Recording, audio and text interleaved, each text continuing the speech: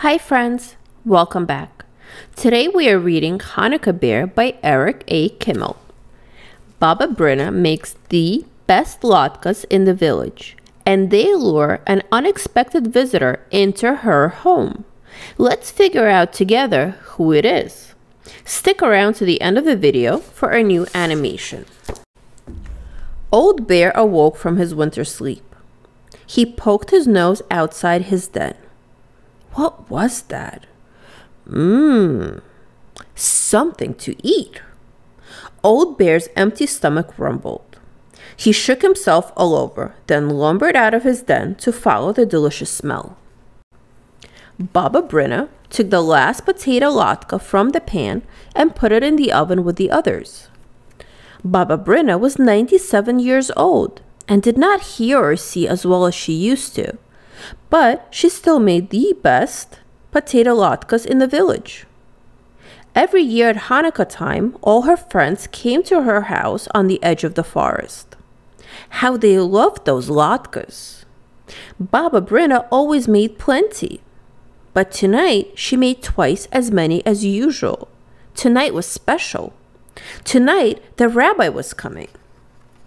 Baba Brayna hurried to get ready. Just then she heard a thump on the door. She opened it. Rabbi, you're here early. How nice to see you. Growl, Growled Old Bear. Happy Hanukkah to you too. Please come in. Old Bear walked into the house. I'll take your coat, Rabbi. My, how thick it is. Baba Brayna tugged at Old Bear's fur. Old Bear roared. Growl! Oh, you want to keep your coat on? Well, that's all right. It is chilly in here. Old Bear's nose twitched. Thank you, Rabbi. How kind of you to say that. The latkes will taste even better than they smell. Old Bear followed his nose to the oven. Rabbi, I'm surprised at you. You know, we don't eat until we light the menorah. That's all right. I know you were teasing. I'll light the candles. Will you say the blessings? Baba Brayna struck a match and lit the shamas candle. Then she lit the one for the first night. Old Bear muttered and growled.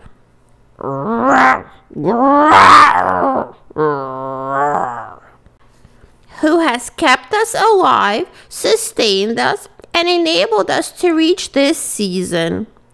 Oh, Rabbi, you say the blessing so beautifully. Baba Brayna sat down at the table. Old Bear sat beside her.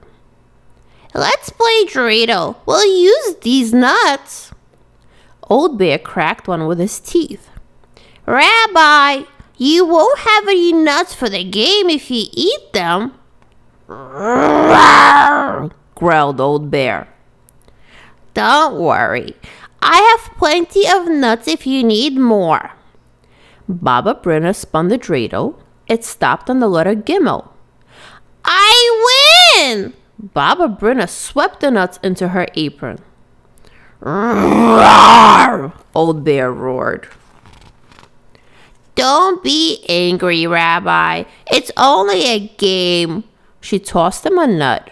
Old Bear begged for more. No, Rabbi. No more nuts. It's time for dinner. Baba Brayna opened the oven door and took out a platter piled high with steaming potato latkes. Old Bear sniffed the latkes as she set them on the table. Do you prefer sour cream or jam? Baba Brayna asked. Old Bear growled. Jam. I thought so. Baba Brayna smeared five big latkes with jam and stacked them on Old Bear's plate. Old Bear gobbled them down. Baba Brayna laughed. You should use a fork. You have jam all over your beard. She wet a towel and wiped Old Bear's face. I must tell you, Rabbi, you eat like a bear.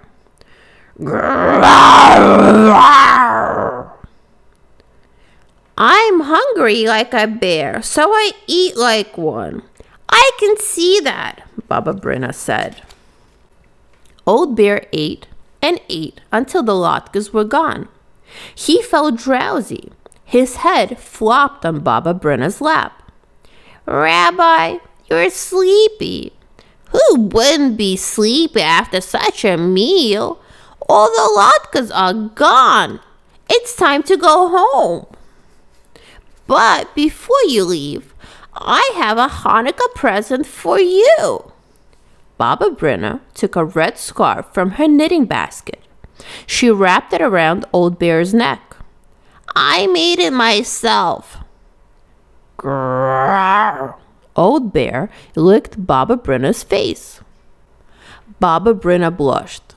Oh, Rabbi, at my age? Old Bear shuffled to the door. He growled as he walked off into the night. Good night to you too, Rabbi. Happy Hanukkah. Baba Brayna was washing dishes when she heard another knock.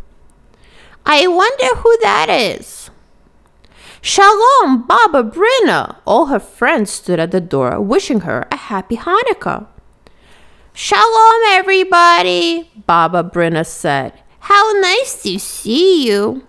I'm sorry I don't have any more latkes. The rabbi came by. He ate them all. Baba Brayna, don't you recognize me? It was the rabbi. The rabbi couldn't have eaten your latkes, everybody said. He's been with us in the synagogue. Baba Brayna rubbed her forehead. Something strange is happening, Rabbi. I think there's an impostor going around. He looks like you. He talks like you. He even has your beard.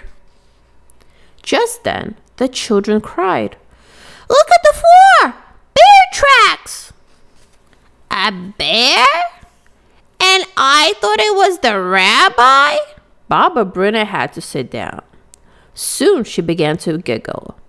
That was a very clever bear. Or a very foolish Baba Brayna. Ah, well. Let the bear have a happy Hanukkah. I had a happy Hanukkah too. And so will you, dear friends. Bring some potatoes from the cellar. Fetch my grater and bowl. Everybody has to help. You too, Rabbi. If we all work together, we'll soon have latkes for everyone. Deep in the forest, Old Bear slumbered in his den. His stomach was full of potato latkes. The warm woolen scarf was wrapped snugly around his neck. Pleasant dreams, Old Bear, and happy Hanukkah.